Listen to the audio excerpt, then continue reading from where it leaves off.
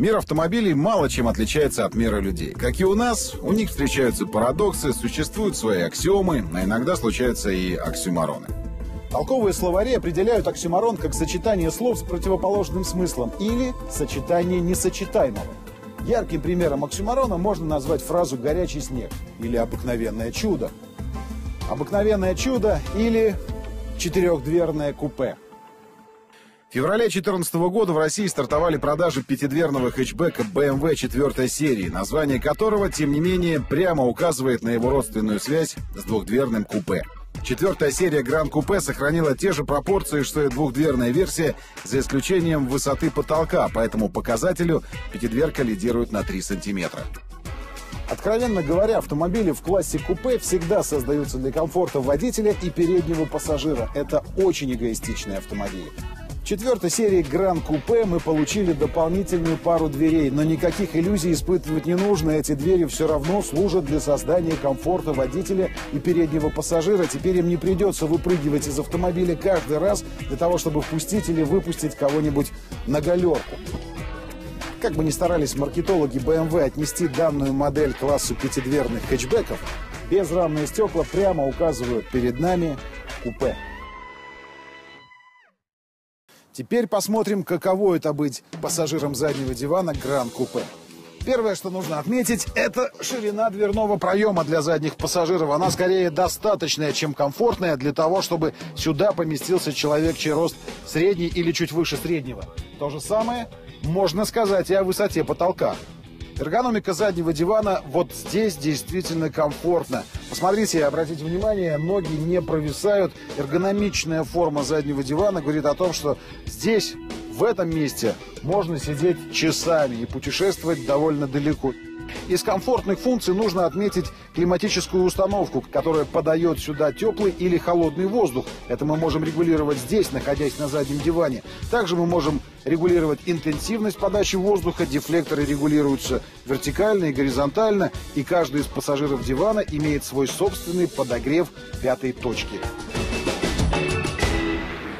Если посмотреть на переднее сиденье, оно настроено как раз под меня. Расстояние до ног не сказать, что колоссальное, но очень достаточное для комфортного размещения. Вот здесь действительно ощущаешь себя скорее пассажиром, если не седана, то точно хэтчбека. Ничего не говорит о том, что мы в салоне купе.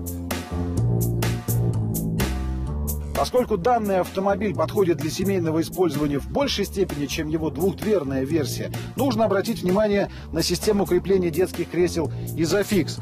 В данном случае она чрезвычайно по-немецки продумана. Обычно мы проминаем подушку дивана в поисках металлических петель крепления, но здесь мы получаем чрезвычайно комфортные направляющие пластиковые шахты. Поскольку мы договорились считать данную версию автомобиля практично семейной, познакомимся с багажным отсеком. Уже несколько лет мы активно используем бесконтактный способ доступа в багажник. К примеру, вы с поклажей, ваши руки заняты. Стоите перед багажником вашего автомобиля. Легкое движение ногой, и крышка багажника открывается как по волшебству. Согласитесь, очень удобная функция. Проблемы начинались в другой момент, когда вы забирали свои вещи из багажника. Раньше вам приходилось все равно тянуться к этой кнопке, чтобы ее закрыть. Сейчас инженеры компании решили и эту проблему. Крышка закрывается также по мановению ноги.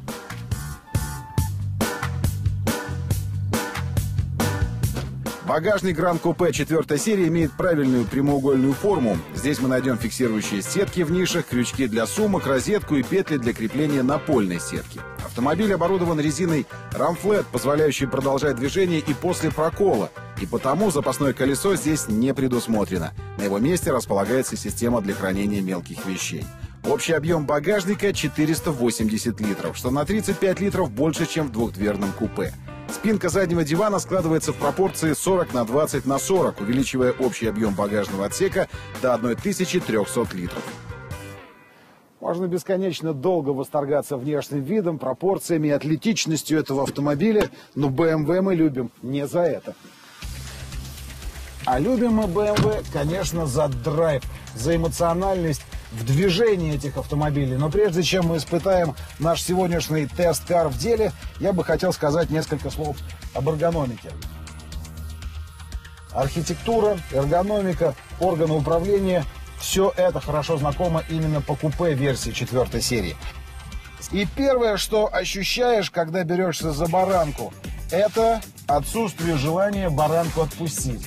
Вопрос, от чего производители автомобилей не могут взять на прокат, купить, украсть, в конце концов, BMW для того, чтобы в точности скопировать эту баранку, ее эргономику, приливы и, главное, толщину. Еще нужно отметить, говоря о руле, это диапазон его настроек. Вертикальные, горизонтальные, их достаточно для того, чтобы развалился водитель за рулем, примерно как я. Вот сейчас я чувствую себя пилотом спортивного болида. Ноги практически вытянуты, при этом руки не вытянуты, как это обычно бывает при таком положении ног, а комфортно расположены на баранке. И в любой момент я могу совершать активные маневры. Это очень важно. Еще одна иллюстрация динамичности и драйвовости данного автомобиля – это количество оборотов от упора до упора. Посчитаем вместе – один, два, два и один. Что-то около двух оборотов, как в лучших спортивных, тем не менее, серийных автомобилях. Но, конечно, не мужское это дело сидеть и крутить баранку статичного автомобиля, а значит, драйв.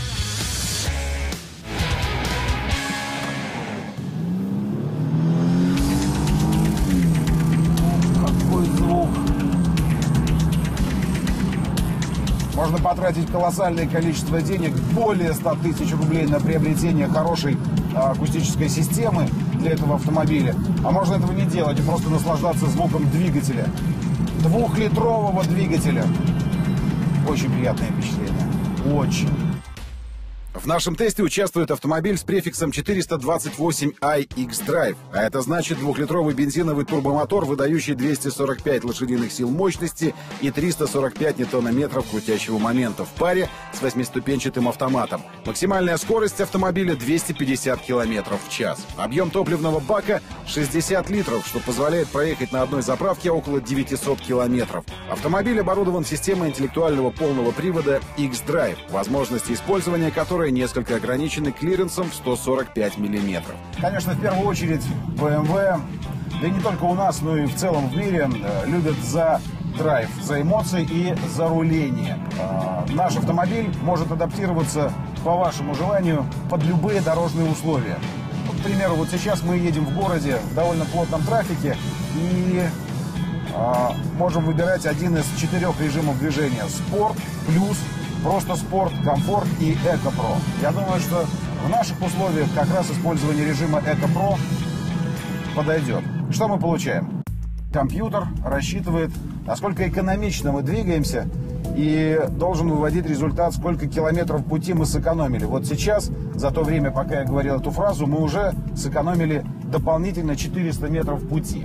Автомобиль переходит в режим тотальной экономии. У вас кондиционер, климатическая установка переходит в режим экономии, музыка приглушается, электрооборудование начинает работать в экономном режиме. Поэтому данный режим нам не очень подходит, потому что мы все же тестируем автомобили и хотим посмотреть а, что он, ох, извините, я только что случайно нажал спорт и молниеносно на педаль газа, клянусь, не нажимал на педаль газа. Обороты сами подскочили, как только я выбрал режим спорт, но это пока нам не нужно.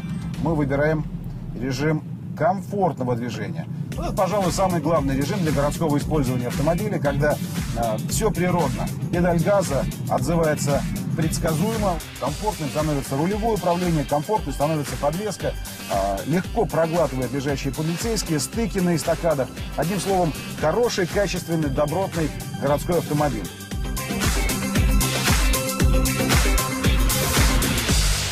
Теперь сейчас проедем туда, где ограничение скорости 80, а значит 100. И выбираем режим спорт. На педаль газа не жму. Тут же подрастают обороты и тут же начинает ускоряться автомобиль. Здесь подвеска становится более резкой. И в целом автомобиль становится резким. Вот нажатие, и мы сразу получаем ускорение я отпускаю педаль газа, но двигатель все еще придерживает высокие обороты. Вот сейчас 4000, до этого было 4,5. На тот случай, если вы вдруг решите снова стартануть, и чтобы у вас под педалью был молниеносный отклик. То есть автоматическая коробка передач, а у нас восьмиступенчатая и а, четверка Гранд Купе комплектуется этой коробкой передач с этим двигателем уже в базе, и она не вызывает ни разу ощущение, что необходимо переходить на подрулевые лепестки. Да, они здесь есть, ими можно пользоваться, но коробка работает просто как часы. И по большому счету в режим Sport Plus, сейчас я его активирую, переходить и не нужно, потому что в этом, в этом режиме э, частично ограничено действие системы стабилизации.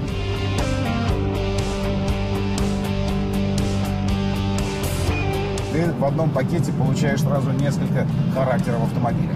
Приятно, что за это не нужно доплачивать отдельные деньги.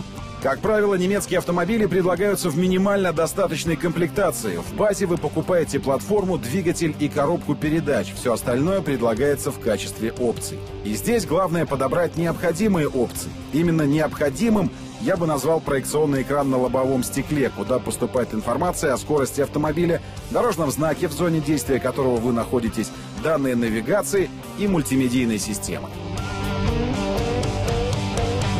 Одна из самых полезных функций, дополнительных опций в автомобиле – это проекционный экран. И, честно говоря, глядя на те BMW, что я встречаю в городе, я удивляюсь, почему так немного людей оборудуют свои автомобили этой функцией. Возможно, именно потому что до конца не понимают, насколько это удобно и практично.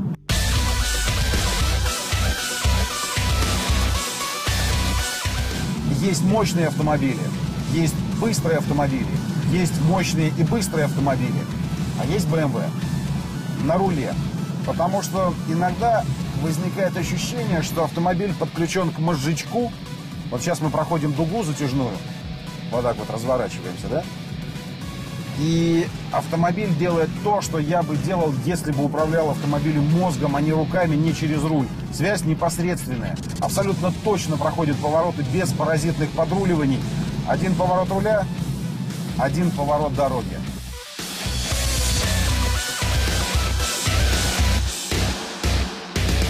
Как правило, для создания яркого эмоционального эффекта в конце каждой автомобильной программы ведущий покидает машину, а затем и вовсе исчезает из кадра, оставляя зрителя один на один с главным героем программы. Но знаете, в случае с этим BMW я, пожалуй, останусь и разделю удовольствие с вами.